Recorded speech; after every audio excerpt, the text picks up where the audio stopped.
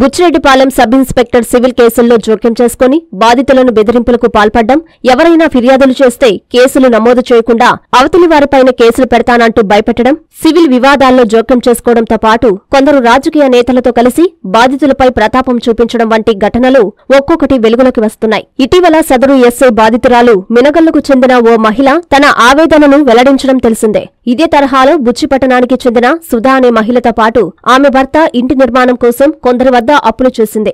ఆర్థిక ఇబ్బందుల వల్ల అప్పులు తీర్చలేకపోయారు. దీన్ని బేస్ చేసుకుని ఆ దంపతులపైన ఆ ఎస్ఐ వీరప్రతాపం చూపిస్తున్నట్లు బాధితురాలు యంత్రి ప్రతినిధికి వెల్లడించిన వైనమిది రాజకీయ నేతలతో కలిసి ఆ ఎస్ఐ పెడుతున్న ఇబ్బంది ఆ కుటుంబానికి వ్యతిరేకంగా ఫిర్యాదు చేసిన వారి వద్ద డబ్బులు తీసుకుని తమను ఎలా ఇబ్బంది పెడుతున్నారో ఆమె ఆవేదన తన మాటల్లోనే వినండి.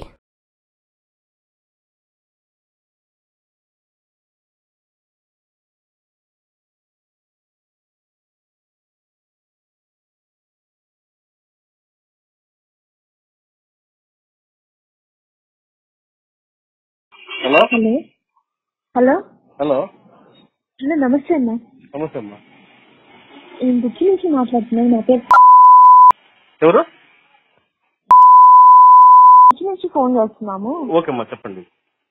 సార్ ఎక్కడ ఉంటారు సార్ మీరు? ఉండేది ఆఫీస్ నేను ఉండేది హైదరాబాద్ నెల్లూరులో ఉంటుంది మా ఆఫీస్ చెప్పండి. Okay sir okay sir. అయితే కొన్ని రోజుల క్రితం మేము బుచ్చి స్టేషన్లో మా మీద ఒకరు కంప్లైంట్ ఇచ్చారని వెళ్ళాను సార్. మా హస్బెండ్ వెళ్ళారు మా హస్బెండ్ మీద ఇచ్చారు. ఎస్ఐ గారికి ఆల్రెడీ మీ నంబర్ మా హస్బెండ్ చేసి పెట్టాను మాట్లాడదు నాకు తెలీదు. అయితే ఇస్తే వెళ్ళాం సార్. వెళ్తే ఎస్ఐ గారు మాట్లాడారు. వేరే వాళ్ళకి డబ్బులు ఇవ్వాలంటే కదా ఏంటి అంటే మేము ఎవరో మాకు తెలియదు పిలిపించండి అంటే వెల్- వాళ్ళు కూడా వచ్చారు. యాక్చువల్లీ వాళ్ళకి మనీ మేము ఇచ్చేసాము అతను ఇంట్రెస్ట్ ఏదో ఇవ్వాల్సి ఉంటే తర్వాత ఇద్దరు అని చెప్పారు. కాగితాలు కూడా లేవు వాళ్ళ దగ్గర. సరే ఇక మేము దాని గురించి వెళ్ళి స్టేషన్కి వెళ్తే మా హస్బెండ్ ఫోన్ పెరుక్కొని ఇలాగా బయటికి పోనీయకుండా తిడుతూ ఒక వైట్ పేపర్ మీద సంతకం పెట్టించుకొని పంపించారు.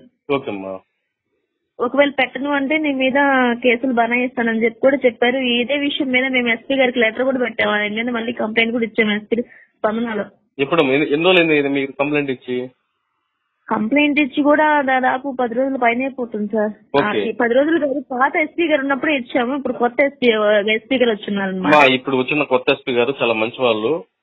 మీరు వెళ్ళి రేపు నెక్స్ట్ రేపు మండేకి వెళ్ళి గ్రీవెన్స్ కూడా ఇవ్వండి. మళ్ళీ కూడా ఇవ్వండి. నో ప్రాబ్లం చెప్పండి తర్వాత చెప్పండి. ఇచ్చిన తర్వాత వాళ్ళ మా జోలికి రారు అని చెప్పారు. అయితే ఎస్ఐ గారి మీద కంప్లైంట్ ఇచ్చిన విషయం తెలుసుకొని ఎస్ఐ ఏం చేశారు. ఇక్కడ రేబాళ్ళు చింతల సీనయ్య అనే వ్యక్తితో మా వాళ్ళు కొంచెం డీలింగ్స్ ఉంటాయి అన్నమాట వాళ్ళకి మేము ఎవరికైతే బాకీలు ఉన్నామో కాగితాలు ఎవరెవరు ఉన్నారో ఇప్పుడు అంటే మా హస్బెండ్ కొంచెం హెల్త్ బాగాలేక ఇంట్రెస్ట్ ఎవరు కట్టట్లేదు అనమాట వాళ్ళకి చెప్పారు. కొంచెం స్ట్రగుల్గా ఉందండి. కొంచెం టైం ఇవ్వండి అని అడిగితే ఎస్ఐ ఏం చేశారు? మిగతా వాళ్ళందరినీ గ్యాదర్ చేయించుకొని స్పందనలో మా మీద ఇప్పించారు. Hmm. కొత్త ఎస్సీ ఎస్సీ ఎస్సీ దగ్గర. ఉమ్, ఇప్పుడు స్టేషన్కి పిలిపి స్టేషన్కి రమ్మని చాలా సార్లు కాల్ చేశారు. మేమైతే స్టేషన్కి అయితే వెళ్ళనే వెళ్ళలేదు ఇప్పటి వరకు. ఇప్పటికి టైం చెప్తూ ఉన్నాం. రెండు రోజులు ఆగి వస్తామని చెప్తానే ఉన్నాం. మేమైతే వెళ్ళట్లేదు. ఎందుకంటే ఎస్ఐ ఫుల్ కోపం మీద ఉన్నాడు. మేము కంప్లైంట్ ఇచ్చిన విషయం తెలుసుకొని. ఇందులో ఇప్పుడు మినగల్ల కథం జరిగిన విషయం మీ న్యూస్లో చూడడం వెంటనే చూసిన వెంటనే మాకు కొంచెం ధైర్యం వచ్చింది. మమ్మల్ని కూడా ఏమైనా చేస్తే ఖచ్చితంగా ఎవరో ఒక రెస్పాండ్ అవుతారు అని. ఇక్కడ బుచ్చిలో ఎవరినైనా అడిగినా కూడా ఆ మిగతా వాళ్ళ పొలిటికల్గా చూసుకుని ఎవరు రాదు సార్ అసలు మామూలుగా. అంటే ఇక్కడ రేబాలో ఒక చింతల సేనయ్య అని ఆయన చూసి ఎవరు బయటికి రారు. భయపడతారు. మాకు సపోర్ట్ కూడా చేయరు. అదే విధంగా ఇంకిద్దరు ముగ్గురు ఉన్నారన్నమాట. కొంచెం రిచ్గా రిచ్గా ఉండేవాళ్ళు. ఓకే. కొంచెం రౌడీతనం కూడా ఉంటారు. అందువల్ల మాకు ఎవరు సపోర్ట్ రావట్లేదు. మేము మనీ తీసుకున్నాం వాస్తవం మేము ఒప్పుకుంటున్నాం. నీ కాగితాలు కూడా రాసిచ్చున్నాం వాళ్ళకి టైం ఉంది. అయినా ప్రజలు చేస్తున్నారు మమ్మల్ని హౌస్ అమ్మమని. ప్రజలు చేస్తున్నారు. హౌస్ మాకు ఉన్నది ఒక హౌస్ ఎక్కడ బుచ్చి? బుచ్చి. Okay okay. మా ఉన్న పరిస్థితి కూడా వాళ్ళకి వివరించి చెప్పాము.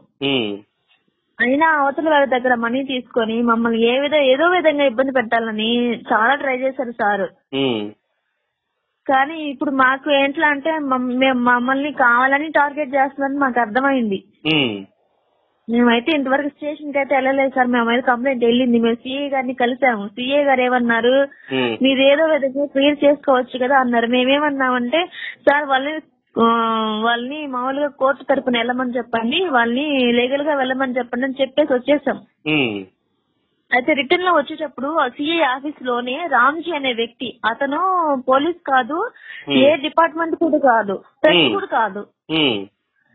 రామ్జీ అతని పేరు. అతను ఏంటంటే మమ్మల్ని బెదిరించాడు అనమాట స్టేషన్లోనే. మీ అంత చూస్తాను మిమ్మల్ని మీడియా ముందుకు లాగుతాను మిమ్మల్ని మీ పరువు తీసేస్తాను మిమ్మల్ని ఆడవాళ్ళ చేత తెప్పిస్తానని చెప్పాడు. అది అక్కడ చెప్పిన తర్వాత మేము ఇక వచ్చేసాం. అంటే ఆ సిఏ ఆఫీస్లోనే బెదిరించడం వల్ల.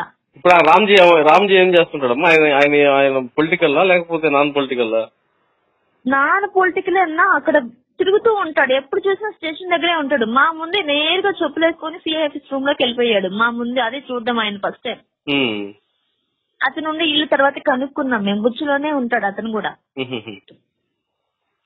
ఇలా ఎస్ఐ గారు వేరే వాళ్ళ దగ్గర నుంచి అతనితో మాట్లాడాలి రమ్మని చెప్పు అని చెప్పారు. మేమైతే భయపడి వెళ్ళలేదన్నా ఇది జరిగింది. Okay okay. మీతో మాట్లాడాలా ఇంకా అంటే మీకు అతను ఇచ్చిన కంప్లైంట్ కానీ మీ ఎస్పీ గారికి అతను మా దగ్గర రాయించుకున్న కంప్లైంట్ కూడా మా దగ్గర ఉంది. ఓకే అమ్మా. మీరు అది ఎస్పీ గారి గతంలో పెట్టింది మీ దగ్గర రాపించుకుందా నాకు ఒకసారి వాట్సాప్ పెట్టండి. మీ హస్బెండ్ ఏం చేస్తారు మీ హస్బెండ్ పేరు? అవును సార్ అవును సార్. మీకు ఫోన్ చేశారంట కదా సార్? అవును చేశారు చేశారు. అదే సార్ మిమ్మల్ని కలవమన్నారు. సాయంత్రం. వచ్చి కలుస్తామని అనుకున్నాం సార్ మేము. మా మా. అదే సార్, ఇప్పుడు వర్క్లో ఉన్నారు తను సా- ఈవినింగ్ వస్తారు. అలాగే అమ్మా. నాకు ఒకసారి నాకు వాట్సాప్ పెట్టండి ఇప్పుడే పెడతాను సార్. ఓకే థ్యాంక్ సార్ మీ నెంబర్ నాకు ఇట్లాగా మాకు కొంచెం సపోర్ట్గా ఫ- మాకు మంచి అన్ని చూస్తా ఉంటారు సార్. ఓకే అమ్మా పర్లేదమ్మా మే- మే- ఎవరు ఇచ్చినా ఓకే. మా మీకు ఉన్నాయి, ఎలా- ఓకే. మీకైతే ఎలాంటి ఇబ్బంది కలగదు. సార్ వన్ వీక్ అవుతుంది సార్ ఇంట్లో నుంచి బయటకు వచ్చి అలాగే అమ్మా ఓకే అమ్మా పర్లేదమ్మా మే- మే- ఎవరు ఇచ్చినా ఓకే. మా మీకు ఉన్నాయి, ఎలా- ఓకే. మీకైతే ఎలాంటి ఇబ్బంది కలగదు. సార్ వన్ వీక్ అవుతుంది సార్ ఇంట్లో నుంచి బయటకు వచ్చి అలాగే. సార్ వన్ వీక్ అవుతుంది సార్ ఇంట్లో నుంచి బయటకు వచ్చి సార్ వన్ వీక్ అవుతుంది సార్ ఇంట్లో నుంచి బయటకు వచ్చి అలాగే అలాగే మీరు పెట్టండి. అప్పుడే పెడతాను సార్ మీ సిఎంఆర్ షాపింగ్ మాల్ మరియు చందన బ్రదర్స్లో మార్చ్ తొమ్మిదవ తేదీ నుండి ప్రారంభం. Cotton fest twenty twenty three అద్భుతమైన డిజైన్లు ఆహ్లాదకరమైన రంగులతో భారతదేశం నలుమూలల నుండి సేకరించబడిన అత్యుత్తమ క్వాలిటీ కాటన్ చీరలు. Karishma cotton Meena cotton Jaipur cotton Dhaniya cotton Sri cotton Munga cotton Patola cotton Pochampalli cotton Mangalagiri cotton cotton prints cotton patch work sarees మరెన్నో. వేలాది రకాల కాటన్ సారీస్తో cotton fest twenty twenty three. ప్రత్యేక కౌంటర్లలో cotton dress materials cotton frocks cotton baba suits cotton churidars మరియు cotton nighties. Summer shirtings ప్రత్యేక కౌంటర్లలో లభించును. ఇక ఈ వేసవికి చందన వారి కాటన్ వస్త్రాలతో కూల్ కూల్గా హాయ్ హాయిగా విచ్చేయండి సిఎంఆర్ షాపింగ్ మాల్ మరియు చందన బ్రదర్స్ నెల్లూరు.